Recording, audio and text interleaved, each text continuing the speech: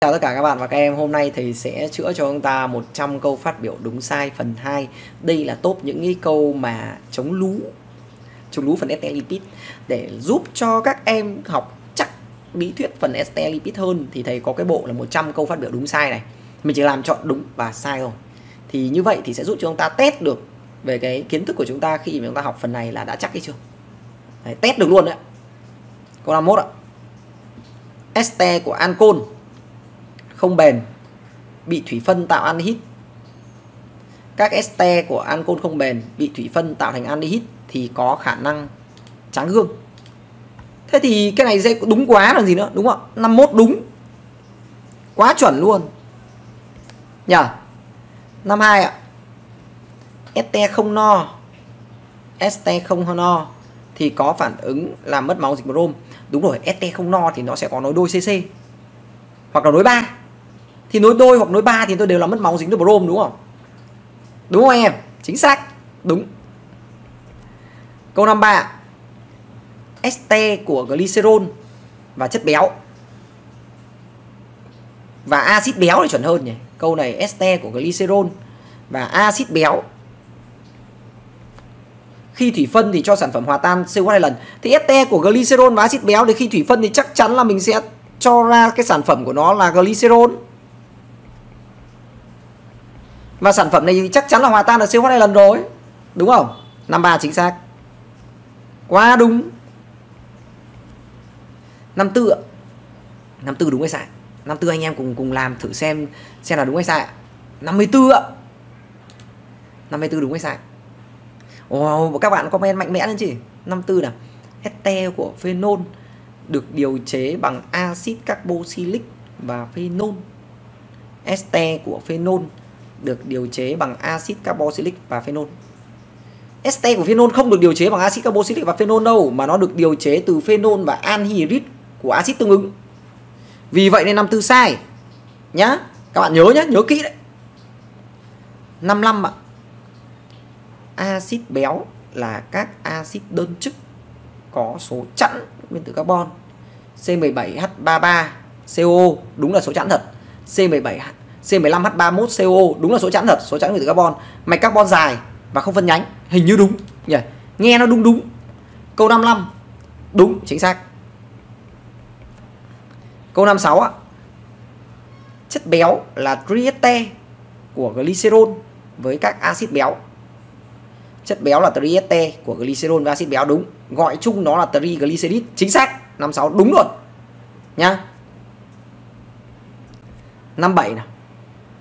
Trong công nghiệp thì chất béo dùng để điều chế xà phòng và glycerol. Trong công nghiệp Trong công nghiệp chất béo dùng để điều chế xà phòng. Chất béo dùng để điều chế xà phòng và glycerol. Chính xác, 57 đúng. 58 ạ. À. 58 đúng hay sai các em ơi? Ở điều kiện thường thì chất béo ở trạng thái lỏng chất béo này nó chia thành hai loại một loại chất béo lỏng một loại chất béo rắn. Thì ở điều kiện thường thì chất béo trạng thái lỏng hoặc rắn nhưng không có khí. Chất béo không có dạng khí. Đấy năm tám sai nhé các em nhé cẩn thận đúng toang. Đấy, các bạn mạnh mẽ comment đáp án xuống phía dưới xem như nào chứ tình hình như này là thầy thấy rằng là rất nhiều bạn sai. Cái phần chuỗi này ấy, thầy làm ra là để muốn cho các em cùng có thể vào để mà các em cũng có thể tự test được cái kiến thức của mình. Nếu bạn nào mà sai hơn 10 câu trên 50 câu thì các bạn ấy cần phải xem xét lại cái việc học kiến thức của chúng ta từ đầu đến giờ đúng không ạ? Câu 59 chất béo tan trong nước, tan tốt. Chất béo không tan trong nước, tan tốt trong dung môi hữu cơ thì đúng, nhưng mà nó không, nhưng mà nó không tan tốt trong nước. Nhá, nó không tan trong nước, sai. 60 chất béo nhẹ nước, chính xác. Quá đúng. Nào 61 nào 61 câu này hơi dài dài để cho cả nhà cùng làm. 61 đúng hay sai? 61 chất béo là S là trieste nên chúng có tính chất của este như phản ứng thủy phân và phản ứng ở gốc. Chất béo là trieste đúng. Nên chúng có tính chất của este đúng phản ứng thủy phân đúng phản ứng ở gốc đúng. Vậy 61 chúng ta đúng. Phải cái này là phải phải vận dụng IQ rất là cao. Khi mà mình làm lý thuyết ý, thì chúng ta phải đòi hỏi chúng ta phải có cái sự hiểu về mặt bản chất và chúng ta phải có sự logic giữa các vấn đề. Chúng ta liên hợp lại với nhau. Đấy nó rất là quan trọng. Làm được những câu lý thuyết này nó không phải là chuyện vừa. Não bật tinh tách. Oxy hóa không hoàn toàn các liên kết CC trong chất béo lỏng. Bị oxy hóa chậm bởi oxy không khí. Tạo peroxit chất này phân hủy tạo aldehyde có mùi khó chịu. Hôi khét làm cho dầu mỡ bị hôi. Đúng rồi 62 đúng. 62 chính xác nhé các em nhé. Đúng. 63 axit béo thuộc loại axit đơn chức. Đúng rồi các axit béo đều là monocarboxylic đúng ạ. 64 chất béo là este tạp chức sai chất béo nó là trieste của glycerol và axit béo thì nó không thể là este tạp chức được nhá. Cái từ este tạp chức là sai rồi, tạp chức thì nó phải có nhiều hơn hai loại chức thì chất béo ở đây nó chỉ có một loại chức là chức CO thôi. Nên 64 sai 65 lipids bao gồm chất béo, sáp, steroids phospholipid hầu hết chúng đều là các este phức tạp. Đúng rồi, tất cả chúng nó đều là este phức tạp còn gì nữa. Đúng, chính xác.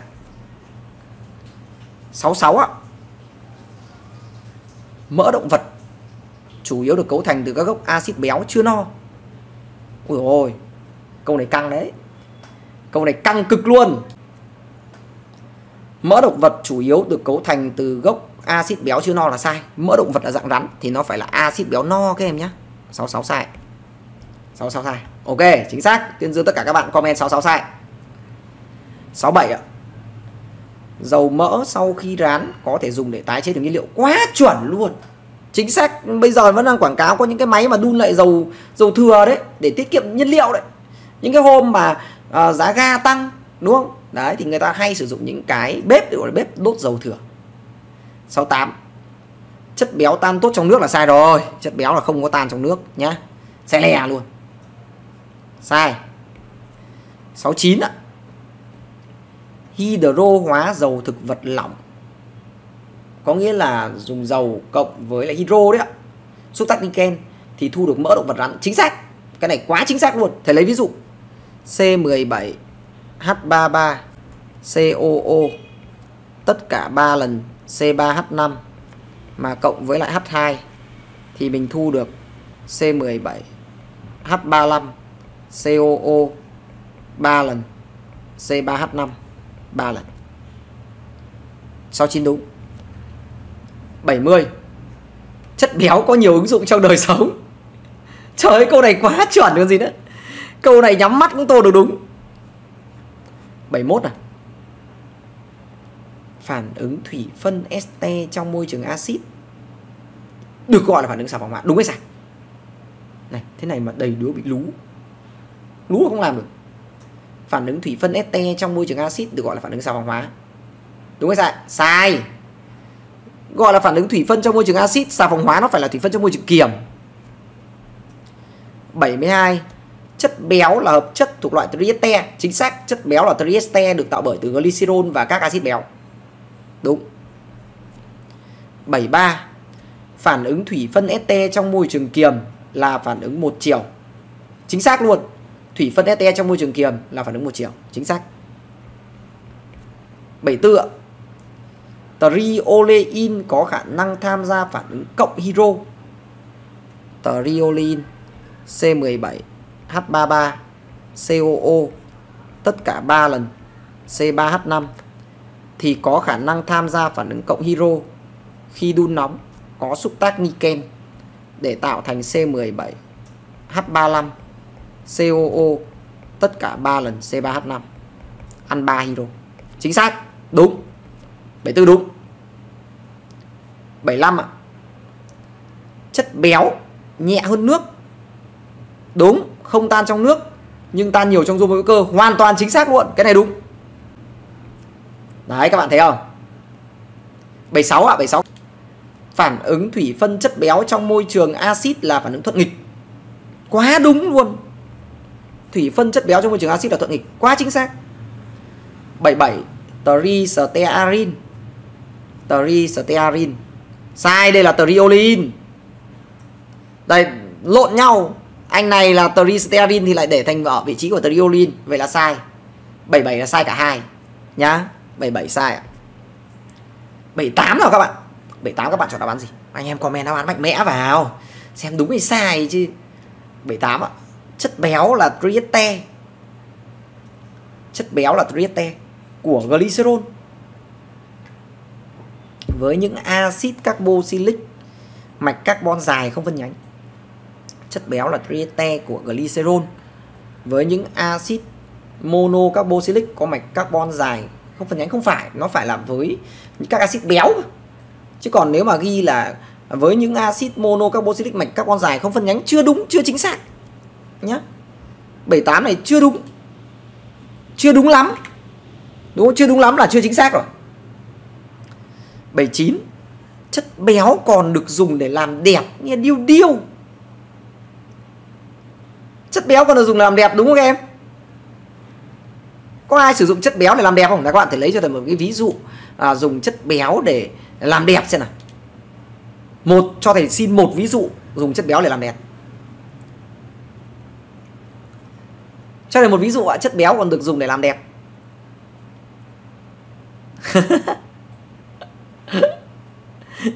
Chất béo còn dùng để làm đẹp ạ. Nào bạn nào bảo sai thì là lý do tại sao, bạn nào bảo đúng thì lý do tại sao. Em chọn sai hoặc em chọn đúng. Bôi dầu lên mặt. Ui, chính xác. Chính xác luôn, Nguyễn Tuấn Phát. Bạn bạn bạn Nguyễn Tuấn Phát hơi bị xịn đấy. Bôi dầu lên mặt. Ui rồi ví dụ nhá, thầy lấy ví dụ nhá. Ngày xưa ấy, ngày xưa mà không có keo vuốt tóc ấy, thì mọi người hay thường hay dầu dừa ấy. Dùng dầu dừa vuốt lên tóc này này, cho nó bóng ấy. Các em nhớ đấy, dùng dầu dừa vuốt lên tóc cho nó bóng. Hiểu không ạ? Đấy vì vậy nên là chất béo còn được dùng để làm đẹp. Dầu dừa là chất béo mà. Đúng ạ. Thế mới hay chứ ảo ma Canada. 80 Xét mỡ lên mặt là thầy? Không, Bôi dầu dừa lên trên tóc này Để mà, kiểu, tạo nếp tóc ấy. Xong nó thơm thơm mùi dầu dừa ấy. Bây giờ chắc ít người dùng. Thời ngày xưa dùng nhiều lắm. 80 À em cứ hỏi bố em ngày xưa đi tán mẹ em ấy, Chắc chắn là có luôn đấy. Chứ đừng ai chặt mỡ Chắt mỡ ngửi mùi ngai ngái ghê lắm. Tất cả các este đều được điều chế bằng phản ứng este hóa. Sai sai hoàn toàn luôn. Không phải tất cả các este đều điều chế bằng phản ứng este hóa đâu, sai lè. 81 este bị khử bởi liti nhôm hydro. Ui, cái câu này là giảm tải từ lâu rồi. Nhưng mà thầy cho vào đây để phòng đấy. Để phòng là các em giải sai. Thì cái câu 81 này là đúng nhá este có bị khử bởi lithium hydro LiALH4 là có bị khử đấy 82 ạ 82 ạ 82 các bạn chọn đáp án gì ạ? Phản ứng thủy phân chất béo trong thiên nhiên và môi trường kiềm. Phản ứng thủy phân chất béo trong thiên nhiên thì là thuận nghịch là đúng, nhưng trong môi trường kiềm là thuận nghịch là sai rồi. Trong môi trường kiềm thì nó phải là hoàn toàn chứ, đúng không? 82 sai. 83 nào. Thủy phân este sản phẩm thu được có thể có cetone chính xác. Đây ví dụ thằng này. HCOO này, C nối đôi C này, gạch C này thì thủy phân này thì mình thu được này. HCOOH này cộng với CH3 này C nối đôi O này CH3 này. Được chưa? Vậy 383 đáp án là đúng có thể thu được cetone chính xác. 84 này có thể dùng nước và quỳ tím xem nhá glycerol là C3H5 OH 3 lần Acid formic là HCOOH. trioleat glycerol là C17 H33 COO 3 lần C3H5. Nếu mình dùng nước này, thì anh glycerol này tan này. Anh axit tan này. Anh chất béo này nổi này, không tan này. Vậy phân biệt được chất béo. Sau đó rồi mình dùng quỳ. Thì glycerol không hiện tượng gì, axit màu đỏ. Còn anh chất béo nhận biết được rồi. Vậy chính xác đúng không ạ? 84 chính xác. Chúng ta hoàn toàn có thể dùng nước và quỳ tím để nhận biết các chất lỏng trên. 84 đúng. 85 nào các triglycerid thì đều có phản ứng cộng hydro sai anh chất béo no C17 H35 COO tất cả 3 lần C3H5 này. Thì làm gì có cộng được hydro? Không cộng được hydro bởi vì nó làm gì có PCC nữa mà cộng. Nó hết rồi. 85 sai. 86 ăn nhiều chất béo có hại. Chất béo nên được loại khỏi hoàn toàn khỏi khẩu phần ăn sai. Ăn nhiều chất béo thì có hại là đúng, nhưng chất béo mà loại hoàn toàn khỏi khẩu phần ăn thì không tốt một tiệu nào nhá. Được chưa? Vậy nên 86 là sai. 87 87 các bạn chọn đáp án gì ạ? Ôi rồi 87 hay thế. 87 các bạn chọn đáp án gì ạ? Xà phòng là hỗn hợp muối natri hoặc kali của axit adipic. Xà phòng là hỗn hợp muối natri hoặc kali của axit adipic, đúng không ạ? Xà phòng là hỗn hợp muối natri hoặc kali của axit adipic. Sai. Xà phòng nó phải là muối natri hoặc kali của axit béo. Sai lẻ. 88. Chất tẩy rửa tổng hợp là muối natri của axit béo. Sai. Chất tẩy rửa tổng hợp là muối natri của axit béo, sai. 89 ạ. ưu điểm của xà phòng là dùng được với nước cứng. Xà phòng mà dùng với nước cứng ấy thì nó tạo thành chất kết tủa này này. C17 H35 COO tất cả hai lần Ca. Thế nên là xà phòng không dùng được với nước cứng bởi vì nó tạo thành kết tủa, nó làm giảm cái hoạt tính tẩy rửa của xà phòng. 89 sai. 90 tất cả các este đều tồn tại thể lỏng sai Chúng ta nhớ tristearin là chất béo no, chất béo no tồn tại điều kiện thường thể rắn. 90 sai. 91 các este đều được tạo ra từ axit và ancol tương. Sai. Ví dụ anh này thế. HCOO này, CH này, nối đôi CH2 thì không được tạo ra từ axit và ancol tương ứng. Bởi vì làm gì có anh ancol này tồn tại? làm gì có anh ăn côn tồn tại đâu đúng chưa vậy 91 sai 92 dầu ăn và dầu máy có cùng thành phần nguyên tố. Ui rồi ôi còn sai lè nữa luôn. Dầu ăn là có C H O còn dầu máy chỉ có C và H thì không thể cùng thành phần nguyên tố được. Sai. 93 chất béo được ứng dụng trong sản xuất mì sợi và đồ hộp. Đúng không ạ? Các bạn thử làm cho thầy xem đúng hay không? 93 câu uh, 93 đáp án gì ạ? 93 các bạn chọn đáp án gì ạ? Chất béo được ứng dụng trong sản xuất mì sợi và đồ hộp. Đúng đúng không? Đấy trong mì sợi đồ hộp có rất nhiều chất béo nhá các em cần lưu ý. 94 chất béo chưa được sử dụng đến trong cơ thể con người được tích lũy trong các mô mỡ. Ui cái này quá chuẩn luôn nhá. Thế nên là nếu mà chúng ta mà à, ăn nhiều ấy ăn nhiều mà chúng ta không hoạt động ấy thì là đấy thì mỡ nó cứ dày dày dày lên thôi. Đúng. 95 phản ứng thủy phân este trong môi trường axit thì luôn thuận nghịch. Phản ứng thủy phân este trong môi trường axit thì luôn thuận nghịch. Sai! Đây, thầy lấy ví dụ anh này. HCOO này CH này, nối đôi CH2 này. Thì anh này thủy phân trong môi trường axit là phản ứng hoàn toàn. Bởi vì nó tạo thành HCOOH cộng với lại CH3 CHO nhá. Luôn thuận nghịch là sai. 96 96 này cái này giảm tải rồi, nhưng mà thầy vẫn cho vào, bởi vì là sợ là nhiều bạn là thầy cô trên lớp vẫn dạy. Chỉ số axit là số miligam KH dùng để trung hòa axit tự do có trong 10 miligam lipid. Thế là sai, nhá sai, bởi vì nó phải là có trong một gam lipid cơ. 96 sai. 97 béo là triete của glycerol với các axit monocarboxylic. Chất béo là triete của glycerol với các axit monocarboxylic. Cái này sai rồi còn gì nữa. Sai lè luôn. Với chất béo là trieste của glycerol với các axit béo. Chứ axit monocarboxylic nó có thể là HCOH thì sao? Đúng không? Sai. Đấy. ví dụ như thằng này này. CH2OOC CH3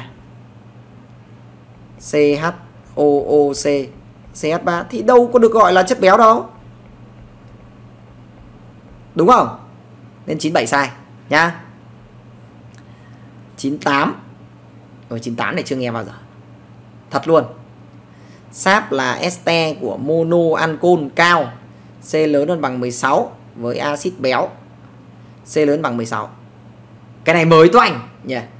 Ôi cái này thì giải đáp. Anh em không biết cái này đâu. Cái này đúng. 99 cái này thì cho vào đánh đố thôi mà. Đánh đố một tí nữa. Anh em đừng trách thầy nhá. Câu 99. Các este thì thường nhẹ hơn nước. Đúng. Nhưng chất béo dạng rắn thường nặng hơn nước. Sai. Chất béo dạng rắn là mỡ. Mỡ vẫn nổi trên bề mặt nước mà. Đúng không? Thế nên là nếu mà nói là uh, chất béo dạng rắn thường nặng hơn nước là sai. Nó vẫn nổi. Nó có chìm đâu. Trừ khi là cái miếng của nó to quá thì nó mới chìm. Đúng không ạ? Vì vậy nên 99 sai. Rồi, câu cuối cùng ngày hôm nay câu 100. Và anh em cho thầy xem là câu 100 này. 100 đáp án gì? Tổng nguyên tử carbon, hydro, oxy trong phân tử chất béo luôn là số chẵn. Xem nào. C17, H35, COO tất cả 3 lần C3H5 thử một anh thôi, xem xem nó là chẵn hay lẻ. 17 cộng 35 cộng 3 bằng nhân 3 bằng cộng 3 cộng 5 bằng. Lẻ 173 anh này đã lẻ rồi. Thế đề bài bảo là tổng số nguyên tử CHO trong phân tử chất béo luôn là số chẵn lại là sai rồi. Sai lẻ. Đúng không? Vậy 100 của chúng ta sai các em nhé rồi ok. Trên đây thầy vừa hướng dẫn cho tất cả các bạn và các em làm xong 50 câu nhận định đúng sai của phần ST và trong này, thầy muốn các em tự đánh giá được bản thân là bạn nào mà sai nhiều hơn 10 câu, thì các bạn ấy cần phải xem xét lại cái việc mà mình đang học bài ST và chúng ta phải ôn lại chúng ta phải học lại để cho nó thật chắc. Bởi vì như vậy là em đang chưa chắc phần ST lipid rồi, một trong số những phần quan trọng nhất của học 12 thế còn nếu mà bạn nào mà làm được đúng full 50 trên 50 thì không có vấn đề gì bạn nhé bạn nào mà làm được đúng hơn à, làm làm làm làm sai nhỏ hơn 5 thì không sao cả. Nhưng mà lớn hơn 5 thì chúng ta cần phải ôn lại lý thuyết một tí cho nó kỹ hơn tí nhá. Và ok ạ. Và cái buổi live stream ngày hôm nay của thầy thì đến đây là tạm dừng tại đây. Bye bye chào tạm biệt tất cả các bạn và các em. Và